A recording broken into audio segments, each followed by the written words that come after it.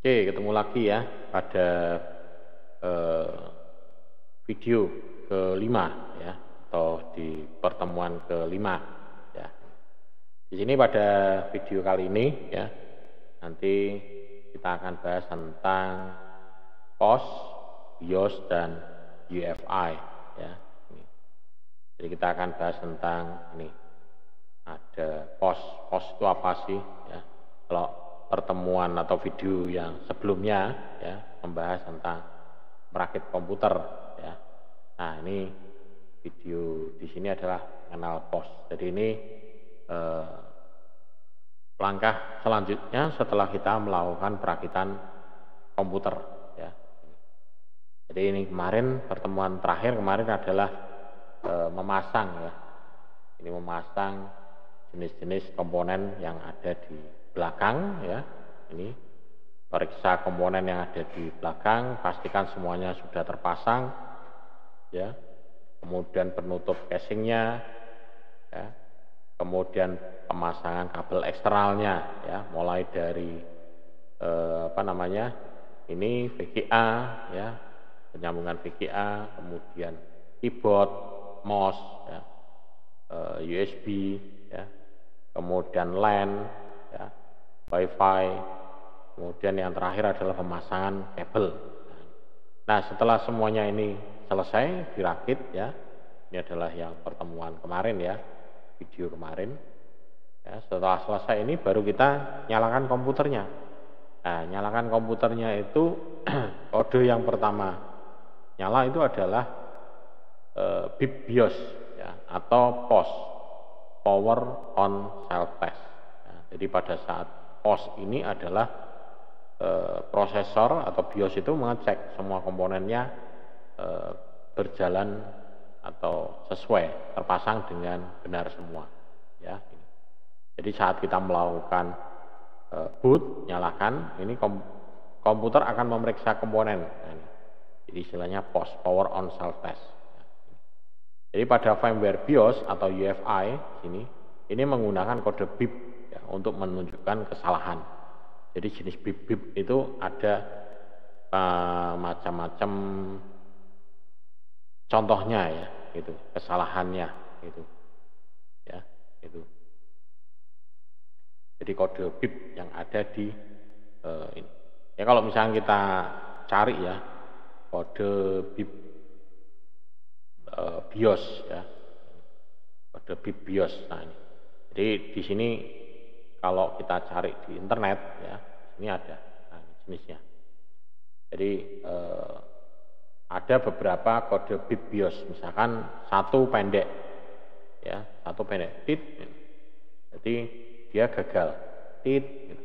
tapi ada dua bit pendek titit nah, apa kemudian ada yang tiga titit ada yang empat ada mungkin yang melengking panjang nah, itu. ya nah ini sekarang sudah banyak bisa kita jumpai ya di di apa namanya di internet kode-kode bip error ya.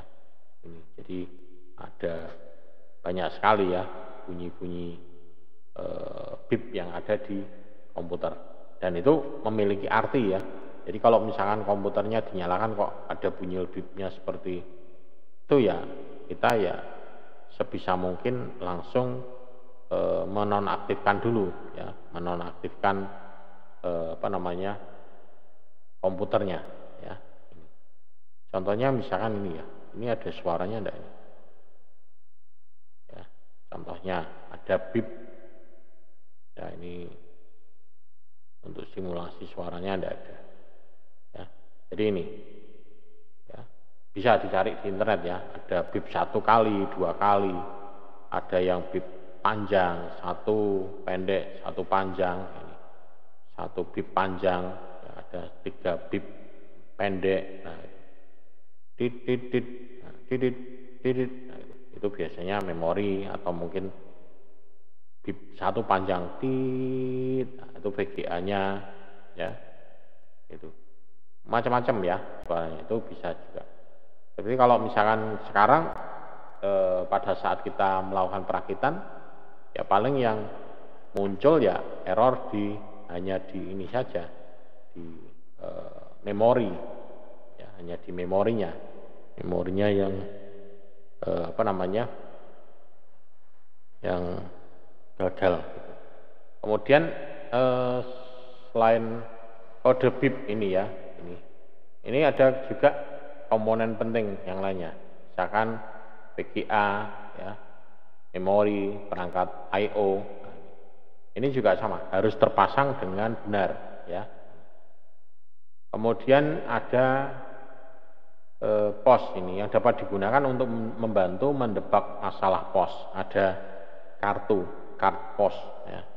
Jadi kart ada sejenis kart yang dipakai khusus ya untuk melakukan e, analisa atau debugging dipasang khusus oh ini rusaknya apa? Rusaknya apa? Biasanya sih itu di toko-toko komputer ya di tempat-tempat e, servis komputer itu dia punya alat-alat khusus ya untuk mendiagnosa ya.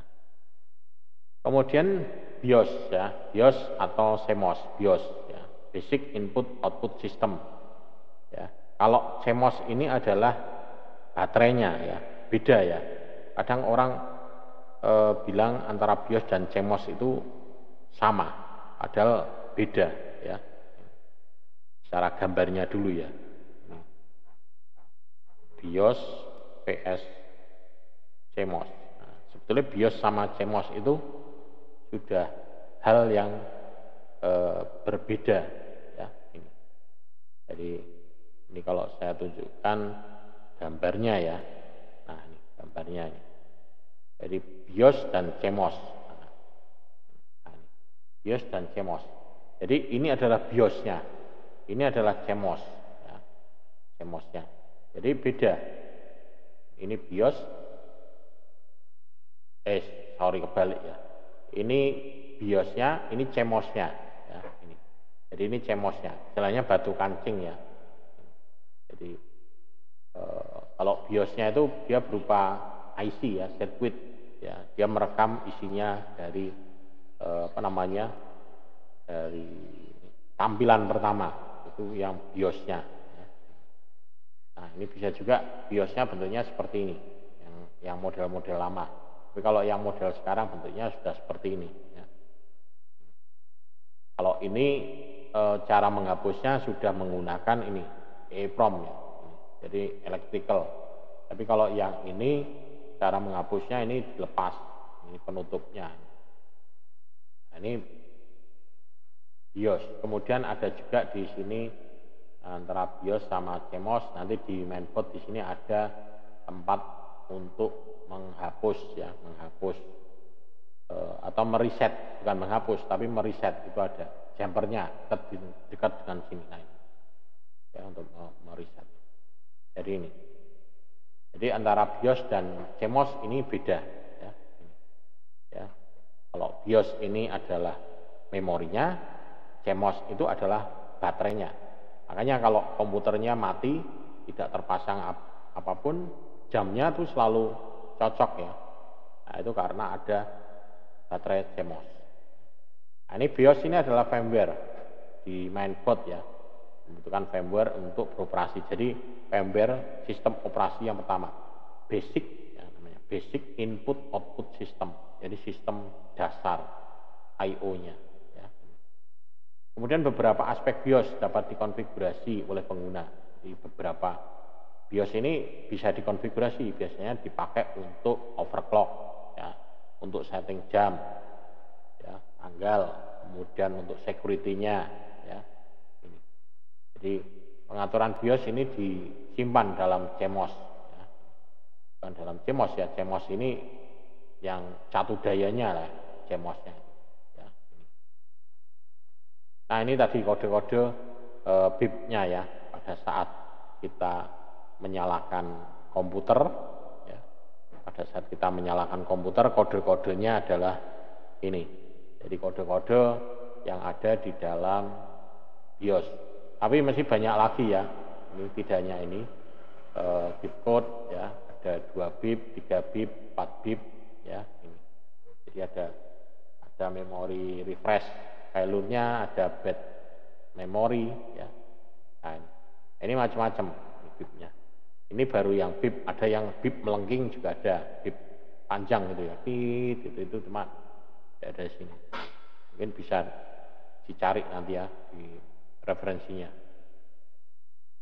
Kemudian tampilan utama dari BIOS. Ini tampilan utamanya adalah BIOSnya ya. Jadi di sini ada main, ada advance, ada boot, security. Dan ini tampilannya e, tidak mutlak ini ya. Jadi e, ada e, apa namanya tergantung dari jenisnya, jenis dari jenis biosnya. Ada yang AMI BIOS, ada yang apa macam-macam merek apa produknya. Dan di sini dia menyimpan sistem informasinya, informasi tentang e, komputer, ya. kemudian e, waktu, ya, menyimpan tentang waktunya dan e, apa e, pengaturan waktu ya di sini tentunya ada waktunya, kemudian ada jam, ya, date-nya ini jam date ya, kemudian di sini ada floppy-nya ada setting floppy-nya ya. Ada setting floppy ya. Mau dimatikan atau tidak ya disable. Di sini tinggal tinggal dimatikan. Kalau floppy-nya ada mau dimatikan ya bisa. Tidak ada dinonaktifkan kemudian ada juga ini primary ID ya di sini ada e, master ada slave ya primary kemudian SATA dan ini tergantung juga dari mainboardnya. Ada juga yang di sini ada rate ya, settingan rate ya. Rate ada juga atau bahkan IDE-nya tidak ada ya. Langsung SATA semua juga ada. Ya. Jadi pengaturannya di sini tinggal di e, tata terus kemudian di sini nanti ada e, bootnya mau dipasang di mana boot pakai SATA 1 2 kalau zaman dulu kan footnya bisa cuman hanya A, C, D atau D, C, A atau eh, atau D, C, A atau C, D, A ya. hanya tiga. Tapi kalau sekarang enggak, bootnya bisa kita atur. Bahkan sekarang boot dari eh, flash disk juga bisa ya. Boot dari flash disk ya, dari eksternal ya, flash disk disebut dari itu bisa juga. Ya. Kemudian ya program pengaturan BIOS ini. Jadi di dalam BIOS ini mengizinkan e, pengguna mengubah pengaturan BIOS, tapi tidak semua ya. Tidak semua e, jenis BIOS ya atau biasanya e, mainboard ya. E, mainboard itu e, dia eh, apa namanya mengizinkan mengubah ya. Jadi ada beberapa yang tidak diizinkan. Ya, contohnya yang misalnya tidak diizinkan adalah sekarang itu rata-rata adalah overclock ya setting eh, prosesor. Tapi ada juga mainboard yang khusus untuk overclock ya. Jadi dibuka memang dibuka ya. Jadi pengaturan BIOSnya dibuka sehingga kita bisa tingkatkan clocknya.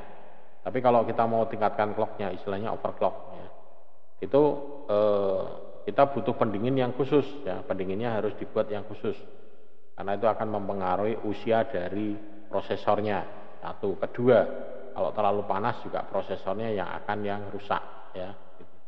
Makanya pendinginnya itu yang harus kuat, ya. Biasanya kalau eh, orang-orang eh, yang suka game, ya, main overclock itu eh, pendinginnya itu udah ekstrim ya. Pendinginnya pakai cooler ya. Bahkan ada yang pakai di eksternal pakai apa? Radiator gitu ya. Pasang pakai radiator juga kemudian alasan umum perubahan BIOS adalah ini nah ini optimasi ya, optimasi sistem dan perubahan perangkat keras nah ini biasanya ini perubahan perangkat keras kalau di BIOS itu biasanya sih e, hard disk ya tapi kalau rata-rata BIOS sekarang itu harddisknya di BIOS settingannya sudah auto. Ya. Kalau zaman dulu enggak, kita harus setting dulu silindernya berapa, tracknya berapa, sektornya berapa, kapasitasnya berapa. Ya, kita harus menentukan satu-satu. Dan kita harus baca di harddisknya. Di harddisknya itu ada, oh ini kapasitas sekian, silindernya sekian, tracknya sekian, sektornya sekian. Ya, sudah disetting. Kalau itu sampai salah nyeting, nanti harddisknya tidak akan kebaca. Ya, itu. Itu biasanya untuk komputer-komputer e, zaman dulu itu ngatur itu ngatur apa namanya ada track ada silinder dan harus tahu persis ya dan disesuaikan dengan e, informasi yang tertera di e, harddisknya di harddisknya itu di atasnya itu ada keterangannya ya. Track berapa silinder berapa ya itu dan dapat diakses ya, dengan menekan tombol ya, ini kombinasi tombol ya, BIOS ini bisa diakses dengan menggunakan tombol itu misalkan F1 ya, atau F2 atau F10 ya, atau F-skip ya, atau Del ya, gitu. Biasanya ini kombinasi itu uh, F11, F12. Nah, biasanya antara tombol-tombol itu tergantung dari merek uh, komputer atau jenis BIOSnya. Ya.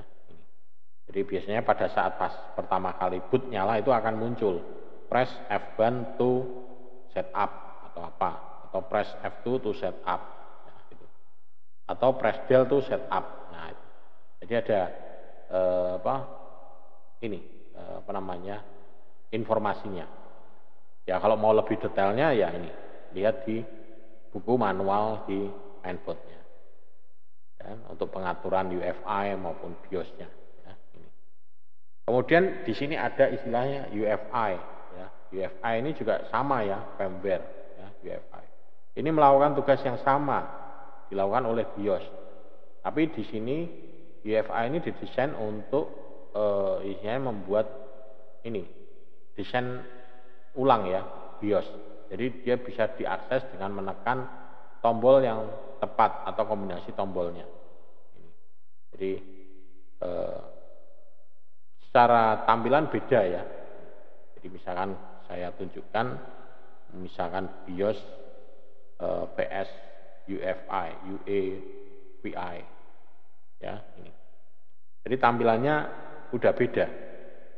Nah. Jadi kalau yang BIOS itu kita mainnya hanya menggunakan panah panah atas, bawah, kanan, kiri ya untuk memilih menunya. Ya, ini. Tapi kalau yang UEFI ini dia sudah menggunakan MOS. Jadi interaksinya MOS ini sudah jalan ya. Klik MOS-nya ini sudah jalan. Nah ini tampilan yang UEFI. Rata-rata sekarang itu sudah dalam bentuk UE UEFI ya. UEFI. Nah. Jadi sudah ah, pakai ini. Jadi tampilannya grafisnya di sini semuanya bisa ditekan pakai menunya pakai menggunakan keyboard. Ya apa pakai mouse, nah, kursor mouse. Beda dengan yang BIOS. Yang lama. Kita masih menekan e, memilih pakai panah atas, bawah, kanan, kiri. Hanya itu aja. Atau pakai ini plus minus atau PK down ya, ini. Jadi menunya di sini atau F6 atau F e, apa F5 nah itu. Ya, sementara yang tampilan UFI ini sudah lebih e, apa istilahnya user friendly ya tampilannya. Jadi e, pakainya sudah MOS, tidak perlu keyboard. Lebih bagus. Ini yang UFI ini.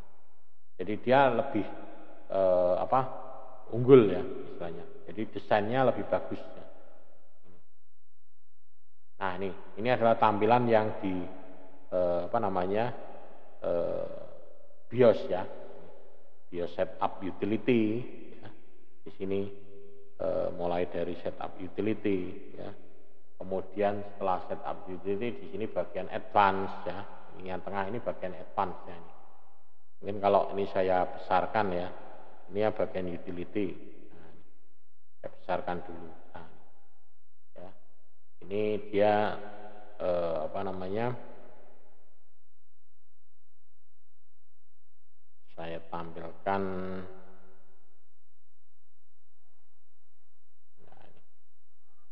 ini malah ketutupan ya. Send back. Nah ini ya. Jadi ini, ini juga coba saya send to back supaya anda lihat. Nah, ini.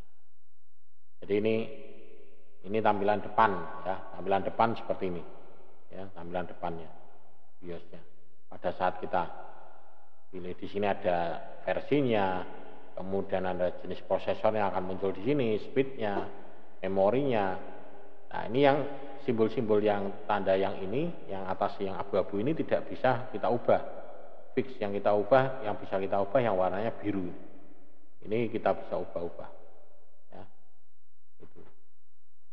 kemudian eh, itu tadi yang itu kemudian yang tombol sebelahnya nah, ini bagian advance bagian advance di sini nah, ini di sini menyimpan ada E ya, ada LAN ada USB settingan ini controller eh, SATA pata, tata, kemudian floppy drive. Nah, ini pengaturan ini. Mau diaktifkan atau di nonaktifkan ya. Pengaturan di situ. Kemudian ada juga ini di sini eh, pengaturan apa ini? Ini adalah pengaturan memori. Nah, ini ini biasanya ini kalau mau dibuat untuk di apa overclock. Nah, ini bisa disetting di sini. Set e, frekuensinya. Ini bisa diubah-ubah di sini. Ya. Kalau mau mengubah-ubah bisa di sini. Ya. Kemudian e, ada lagi ini karena kalau saya tunjukkan demo online-nya tidak bisa. Ya. Kemudian ada pengaturan boot bus-nya lah ini. Ini yang paling utama adalah ini uh, boot priority-nya, nah, ini, pengaturan bootnya. Pertama dari mana, keduanya dari mana. Nah. Ya, bisa diatur dari situ. Ya. Karena saya pernah dulu tuh me, ya istilahnya apa ya, kayak nguji ya, itu anak SMK itu proses nginstal proses nginstalnya itu bootnya seperti itu ya karena dia tidak memahami pada saat pertama boot, boot muncul press NIK itu continue, press NIK itu continue, pasti cek proses eh, apa install mulai dari segala macam format. Habis itu komputer restart, restart karena bootnya ini masih masih ke arah ke CD-ROM, maka di situ ada munculan press any to continue, tekan enter lagi, ngulang lagi dari awal. Nah, terus muter terus nah, ya. Nah ini juga perlu diperhatikan. Kemudian yang e, lebih penting sekarang adalah kalau kita memilih komputer eh, sebaiknya yang sudah support dengan Intel eh, ini eh, VT virtual eh, apa? Virtual. Jadi untuk virtualisasi teknologi. Jadi eh, sebisa mungkin kalau eh, komputer anda atau laptop anda bisa pakai yang sudah support seperti ini. Karena kalau sudah support seperti itu kita untuk bisa memaksimalkan ya, misalnya penggunaan tentang virtualisasi lebih bisa, istilahnya e, VMware ya. Ini kalau saya pakainya Hyper-V. Jadi ini karena sudah ada e, itu, ya ini bisa bisa saya bisa install macam-macam di sini ya. Ini. Jadi saya di sini bisa install e, Ubuntu, nah di sini, misalkan di sini saya install Ubuntu, ini juga bisa. Jadi ini saya ini jalan eh, komputernya ini jalan Ubuntu, nah, Linux ya. Nah, jadi bisa jalan Linux. Jadi saya bisa menjalankan eh, apa sistem operasi di dalam sistem operasi. Nah, jadi bisa. Nah, jadi tampilannya seperti ini. Ya, coba masuk ya. Jadi kalau kita mau e, latihan, install ataupun e, segala macam ini dengan seperti ini sudah e, apa sudah e, sudah bisa ya. Ini di sini mau connect internet juga bisa. Karena di sini sudah saya routingkan dengan komputer saya. Coba bisa bisa enggak buka internetnya. Internet bisa enggak? Nah ini bisa ya, bisa ternyata. Coba misalkan berita terkini. Nah, bisa ya. ya. Jadi bisa buka internet. Jadi ini eh, saya bisa dengan luasa. Ya. Ini kalau mau latihan ya, mau install eh, sistem operasi hacking ya. Ini kalau mata kuliah ya, keamanan jaringan komputer ya, bisa. Ya. Kemudian kita shutdown, ini bisa juga uh, shutdown. Oke, shutdown. Oke, shutdown ya. Ini proses shutdown. Tapi ini jalan di virtual ya. Dan ini kita bisa me men-setting ya, bisa me menggunakan komputer saya ini bisa lebih dari satu bisa lebih dari satu ini. Saya jalankan dua, tiga, empat itu bisa di sini. Nah ini syaratnya adalah komputer kita harus support dengan ini tadi ya hiper e, virtualisasi ya. Jadi ya di BIOSnya jadinya di BIOSnya itu harus ada support sudah ini. Intel virtualisasi teknologi ya harus ada ini. Ya, ya kalau enggak ya enggak apa-apa, cuman kan agak berat gitu ya. Prosesornya kerjanya berat. Tapi kalau sudah ada itu berarti sudah uh, support untuk uh, virtualisasi bisa pakai Hyper-V. Kalau Hyper-V tadi itu bawaannya Windows 7, 8, 10. Tapi kalau Anda mau pakai yang pihak yang dari luar itu bawa di luar itu e, pakai ini apa namanya VMware ya pakai VMware juga bisa ya kemudian informasi yang ada di BIOS ini tadi ya di BIOS ataupun di UFI ini dapat memberikan informasi tentang perangkat keras yang diinstal termasuk CPU, memori, hard disk, dan drive optik ya. Ini biasanya dipakai untuk uh, troubleshooting ya, troubleshooting. Uh, eh, CPU-nya benar enggak, kemudian memorinya berapa, hard disk-nya berapa. Nah, ini in, informasi komponen BIOS-nya. Kemudian di konfigurasi BIOS ini memungkinkan untuk menyesuaikan aspek khusus. Ya. Ini. Jadi aspek khusus dari perangkat kerasnya bisa disesuaikan di konfigurasi BIOS-nya. Ya. Misalkan eh, apa memori atau mungkin eh, apa kalau VGA ndak ada ya ya boot ya. Bootingnya boot prioritinya ke mana? Itu yang bisa di setting khusus ya. Kemudian variabel dan fitur yang dapat disesuaikan secara khusus dari pabrik ya. Setting clock memorinya apa e, prosesor ya. Mau bisa disetting atau enggak. Pengaturan BIOS ini memiliki dampak langsung pada perangkat kerasnya. Dan ini pengaturan yang salah ada efek buruknya ya itu. Jadi kalau di BIOS-BIOS yang komputer yang canggih sekarang itu di BIOSnya ada pilihannya, ada normal, ada normal, ada fast, ada turbo ya, atau slow lah itu. Jadi ada pilihannya itu di BIOSnya. Oh kita mau apa, setting apa, itu bisa kita setting ya. Kita bisa setting e, normal ataupun jadi ada pilihannya itu. Istilahnya kalau zaman dulu e, turbo, aja turbo kencang. Nah, kalau ini BIOSnya ada. Jadi pengaturannya ada. Pengaturan konfigurasi BIOS. Nah, sini di antaranya adalah waktu, ya, waktu dan tanggal kemudian menonaktifkan atau mengaktifkan perangkat yaitu tadi ya mematikan LAN card, mematikan eh, apa namanya eh, sound, mematikan eh, apa namanya eh, WiFi, misalkan mematikan floppy drive, lah itu. Ya.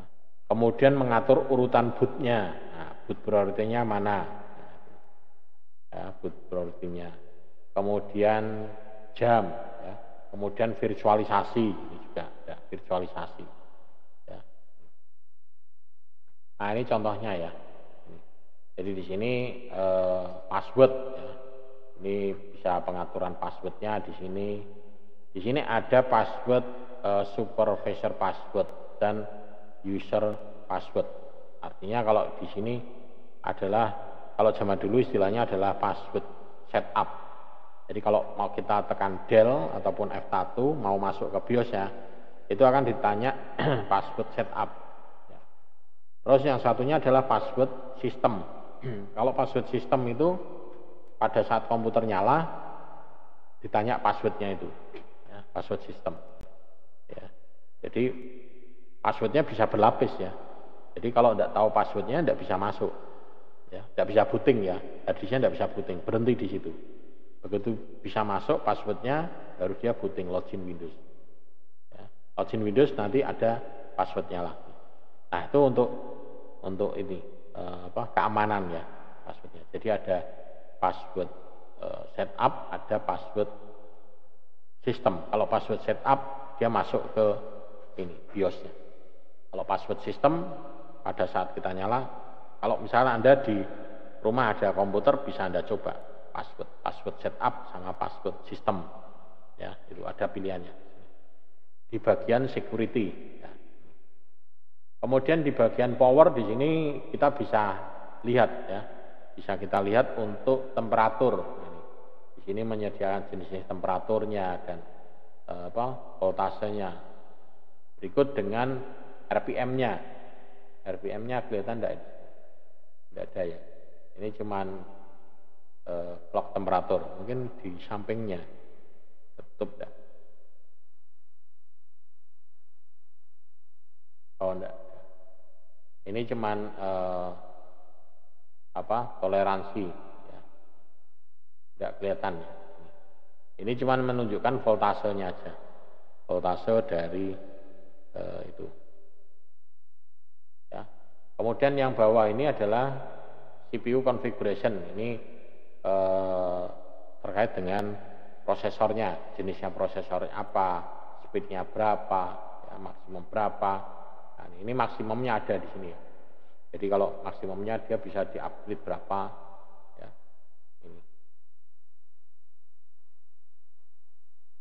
Kemudian konfigurasi BIOS di sini. Ini juga mencakup fitur yang melindungi pengaturan BIOS data dan opsi pemulihan. Jadi ada untuk restornya, ya.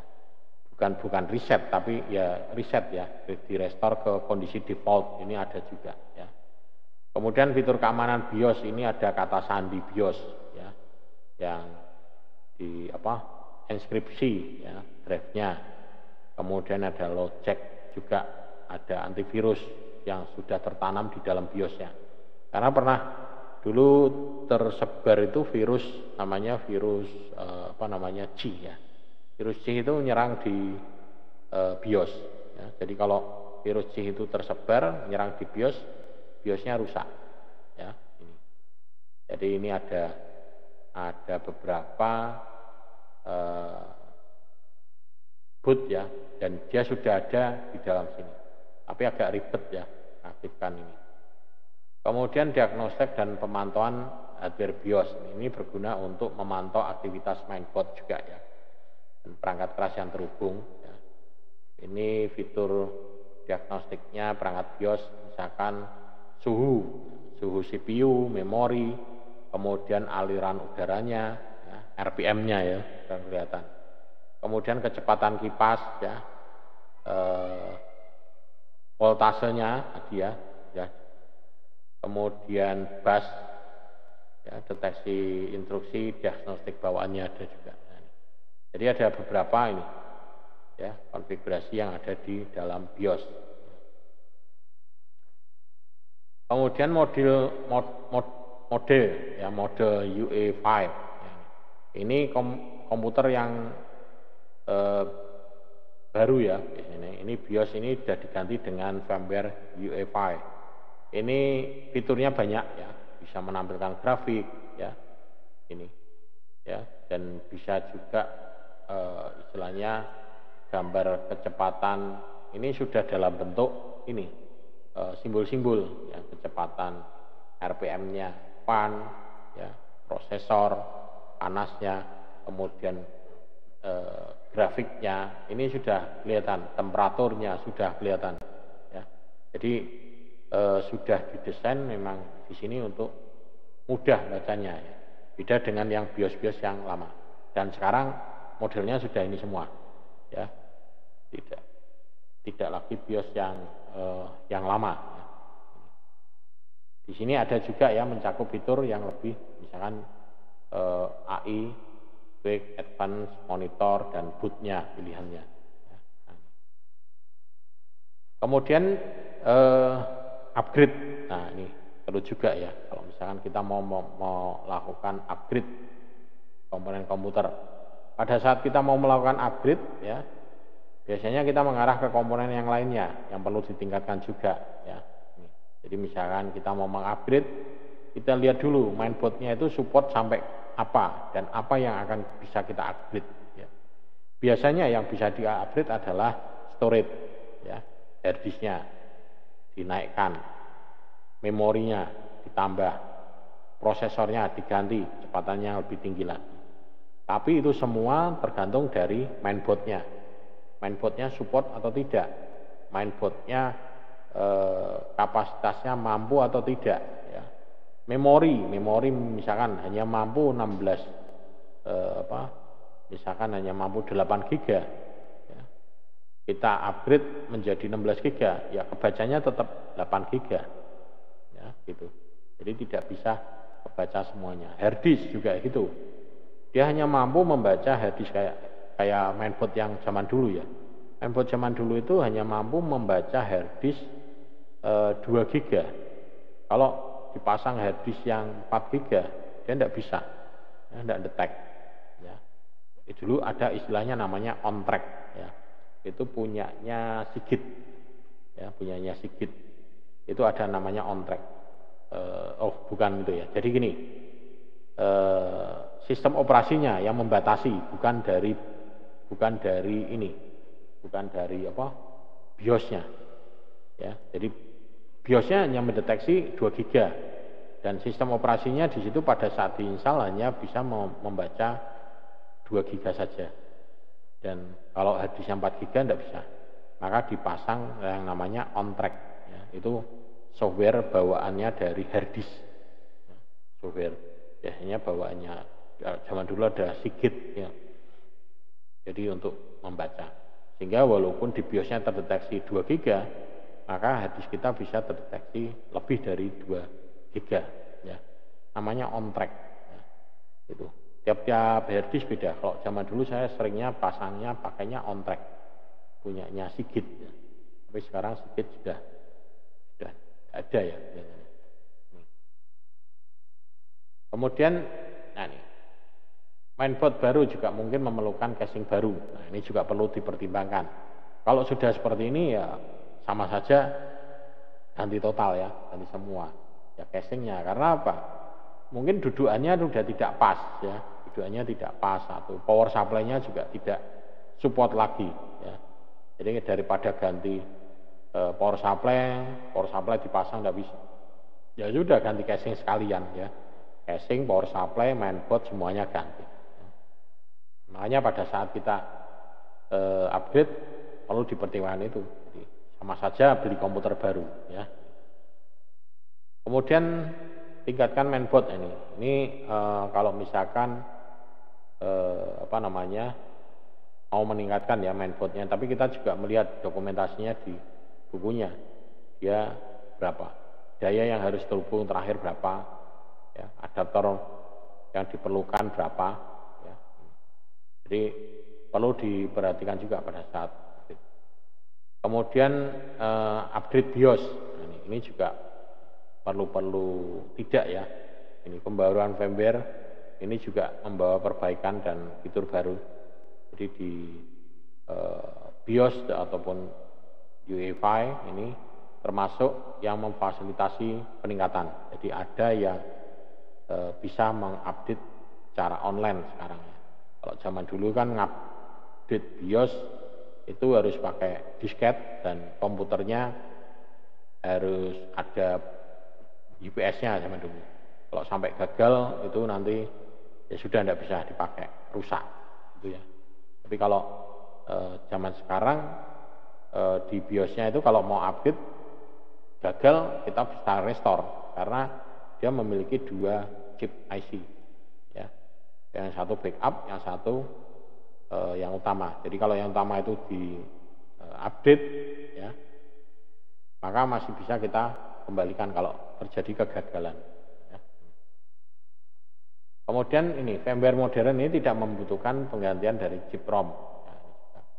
Nah, ini sebaiknya kalau misalnya kita mau mengupdate BIOS, nah ini konsultasikan dulu dengan situs webnya atau cari sumber resminya ya, dan download uh, dari situs resminya, jangan dari uh, situs yang lain ya sumber-sumber yang kurang dipercaya ya. jadi sebisa mungkin kita ambil dari sumber-sumber atau situs yang bisa dipercaya gitu ya nah ini ini jenis mainboard ya uh, mainboard yang lama. Kemudian ada juga ini yang di sini ada pemasangan hedging nah ini ini yang gambar mainboard yang baru ya. Jadi bentuknya ya. Kemudian eh, pendingin. Nah, ini pendingin CPU ini juga penting ya, pendingin. Bahkan ini juga perlu di, dibersihkan secara berkala kipasnya. Karena di sini sumber kotorannya di sini. Jadi, ya kalau pendinginnya itu sampai eh, ketutup apa namanya eh, kotoran ya itu akan menyebabkan eh, apa namanya eh, pemuaian panasnya itu akan berkurang ya, karena terhambat oleh kotoran sehingga kipasnya itu tidak maksimal bisa mendinginkan etchingnya ya. jadi CPU baru kemungkinan akan membutuhkan unit pendingin dan eh, kipas yang baru kemudian ada juga firmware yang digunakan untuk monitoring suhu kecepatan kipas dan aliran udaranya. Ini ada juga. Jadi di firmware ini ada.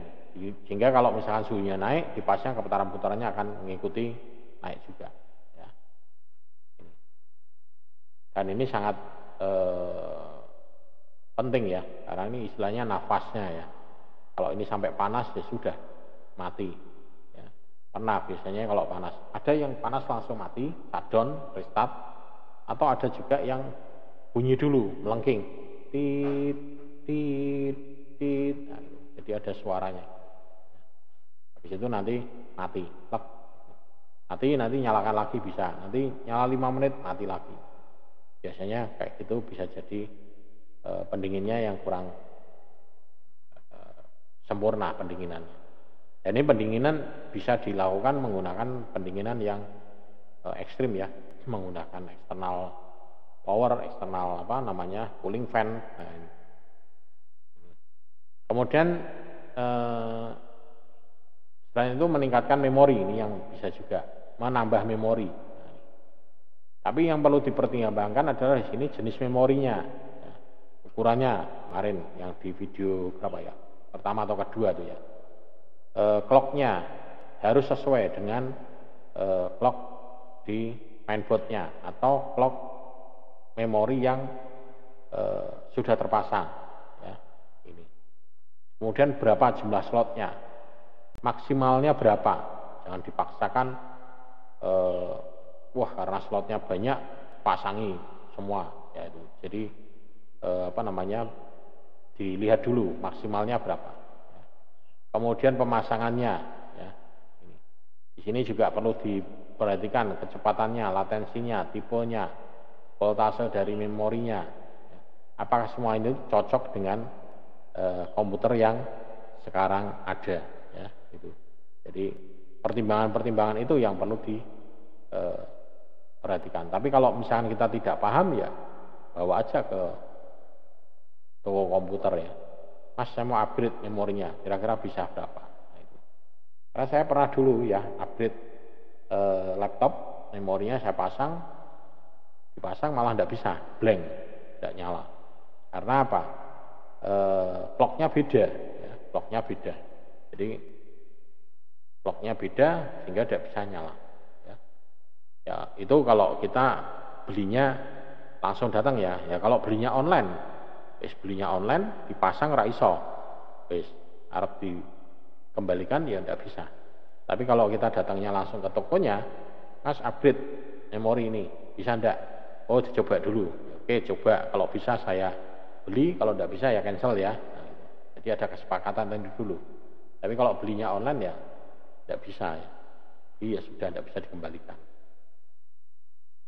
Kemudian ada juga di sini uh, beberapa fitur-fitur ya yang bisa dipakai untuk melakukan pengecekan Contohnya di sini ada ini tampilan apa ini? Ini kalau saya besarkan ini tampilan apa ini? Nah, oh ini nganu BIOS ya, built-in BIOSnya. Jadi kalau misalnya kita cari di internet built-in BIOSnya berapa? Built-in uh, 0027. Ini built-in 0026. Nah, ini semakin ke atas semakin baru ya. Ini fitur yang ditambahkan apa? ya. Jadi ini menambah function CPU uh, kemudian remove the function ini. Kemudian apa nambah apa ini hasil dari update uh, BIOS ya ini jadi akan muncul informasi atau mungkin ini uh, yang bisa kita dapatkan di keterangannya softwarenya update BIOS kemudian perangkat penyimpanan ya jadi motherboard ini mendukung transfer data yang digunakan adalah misalkan ATA, SATA, e, SCSI, ya, PATA. ATA itu sama dengan PATA ya. ATA ini PATA sama. Ya. Ini SATA, SCSI. Dan dia dapat menye, e, menyediakan ini lebih banyak ruang penyimpanan. Jadi tergantung slotnya berapa jumlahnya, meningkatkan kebacaan e, kecepatan baca tulis ini kalau sisa kosong harddisknya banyak itu baca tulisnya juga cepat. Ya. Ini ruang sistem eh, sistem operasi yang kedua misalkan. Jadi kita bisa menginstal lebih dari satu sistem operasi misalkan. Jadi harddisk satu pakai sistem operasi A, harddisk kedua pakai sistem operasi B. Nanti kita main dari BIOS, bootnya dari mana. Kemudian meningkatkan file swap system, ya, toleransi kesalahan, kemudian backup juga. Nah, jadi eh, media storage ini macam-macam ya di sini. Kalau sekarang sudah ada yang bentuknya eh, M2 ya. Jadi BIOSnya adalah eh, SSD yang M2. Nah, jadi bentuknya SSD M2 seperti ini. Jadi bentuknya harddisknya ini harddisk ya, harddisknya seperti ini. Jadi SSD M2. Jadi kalau misalkan kita cari ya SSD PS M2. Nah, nah ini bedanya seperti ini SSD. Ya, kalau yang SSD itu kan e, bentuknya fisik ya kayak ini, kayak apa? Ya ada wujudnya besar. Kalau yang M2 yang lebih kecil, bentuknya kayak memori, card memori. Nah ini pada hanya pada mainboard mainboard tertentu yang support dengan ini. Ya, ini laptop ini rata-rata sudah ada dua ya yang pakai ini M2 ada juga yang pakai yang e, hard biasa ya. Kemudian ada juga yang e, apa namanya mainboard ya mainboard yang support ini. Ini misalkan e, main board e, support M2 ya, ya NV, NVMe ya. jadi mainboard yang sudah support dengan ini. Ini contoh mainboard yang sudah support dengan itu ya contohnya gambarnya. Nah ini, nah, ini letak slotnya ada di mana?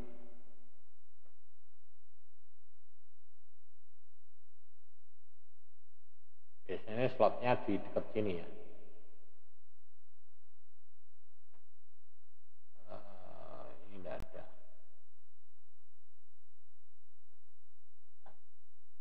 ada juga yang pakai konverter ini. Ya. Nah ini konverternya.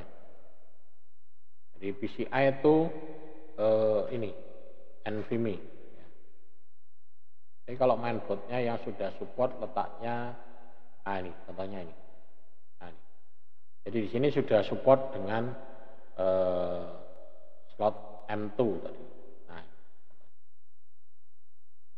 nah jadi di sini letak pemasangannya, ya pemasangannya di sini. Jadi masangnya miring gini 45 derajat, kemudian ditekan ke bawah, kemudian nanti dibaut di sini. Ya, ini ada. Tapi kalau yang komputer-komputer NUC sekarang sudah rata-rata sudah pakai ini ada ini, NVMe. Jadi kalau pakai ini lebih cepat ya, uh, speednya lebih cepat lagi. Nah. Jadi mainboard mainboard sekarang sudah support dengan itu. Jadi untuk e, perangkat penyimpanan itu. Tapi e, untuk SSD dan sejenis SSD itu kalau ada kerusakan tidak ada gejalanya. Mati langsung ti mati ya gitu. Ya, kalau yang harddisk yang e, motor kan ada gejalanya, bunyi se rek rek rek rek rek atau apa. Ya, jatuh langsung rusak kalau yang itu. Kalau yang SSD jatuh tidak ada masalah. Ya kayak flash disk itu ya. Jatuh ya aman. Kemudian jumper, nah ini jumper yang ada di eh, apa CD-ROM ataupun di eh, apa namanya di eh, apa harddisk ya. Jadi pengaturannya bisa diatur sini. Ini kalau menggunakan kabel eh, data yang patah.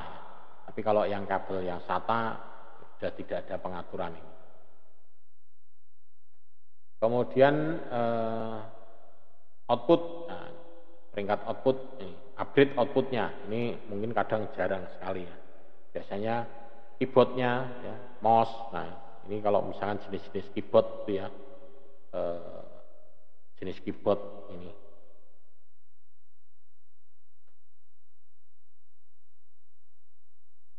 Jenis keyboard, ya.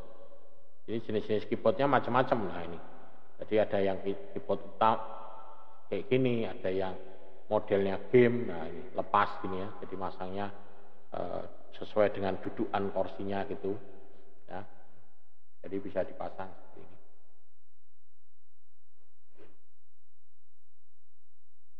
Ya. Jadi ini, nah ini disesuaikan dengan ini e, kenyamanannya ya. Lebih nyaman mana keyboardnya? Ini. Touchnya juga sama ya. Touchnya lebih enak mana empuk mana. Karena orang kalau yang suka ngetik biasanya akan nyari keyboard yang touchnya empuk ya. Nah. kemudian monitor. Nah monitor juga. Kalau peningkatan monitor biasanya akan memberikan resolusi yang lebih baik ya. mungkin layarnya lebih lebar monitornya lebih dari satu karena saya pernah masang itu monitornya ada tiga ya. Itu. Jadi untuk kerja enak itu. Atau dua monitor. Ini. Beberapa monitor dianggap sebagai peningkatan monitor ini. Dan perangkat baru memerlukan drive baru juga. Ya. Ini adalah contoh-contoh itu. Nah ini keyboardnya dibuat ini monitornya untuk kerja. Nah ini memang disesuaikan dengan pekerjaannya ya. Kalau memang pekerjaannya e, analisa seperti ini ya harus banyak monitor banyak. Biasanya untuk eh, apa? bagian saham, nah ini kemudian bagian monitoring keamanan jaringan, nah itu keamanan jaringan monitor ini menampilkan grafik A ini menampilkan grafik ini menampilkan grafik yang lain, ya itu bagian keamanan jaringan. Oke, itu ini ada berapa ringkasannya, mungkin nanti bisa dibaca Oke, mungkin untuk video uh, kelima ya, ini uh, saya cukupkan sampai ini. Mungkin kalau ada yang mau ditanyakan ya nanti bisa ditanyakan via WA ataupun bisa juga lewat uh, apa namanya uh, forum ya di syakat ya di komentar ya, atau juga di eh, classroomnya. Juga bisa ya. Itu. Mungkin itu saja yang bisa saya sampaikan pada eh, video kali ini ya. Kurang lebihnya saya mohon maaf kalau ada tutur kata yang salah dan ada kesalahan penyampaian ya. Terima kasih. Sampai ketemu pada pertemuan video selanjutnya